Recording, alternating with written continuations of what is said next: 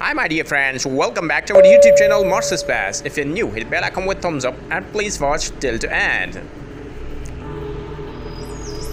NASA's Mars Perseverance rover acquired these images using its right Mastcam Z camera. These images were acquired on 24 July 2022, Solar Martian Day 507 of its mission.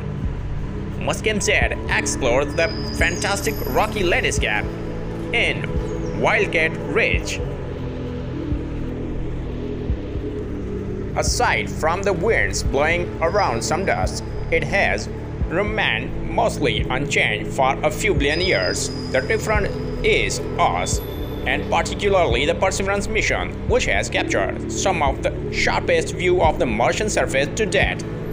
The rover's job is to search for potential signs of fossilized life in the rock, but since it arrived last Feb, it has become quite landscape photographer. If you like my video, hit thumbs up and don't forget to share to your friends. Stay connected with Mars Space. Thanks for watching.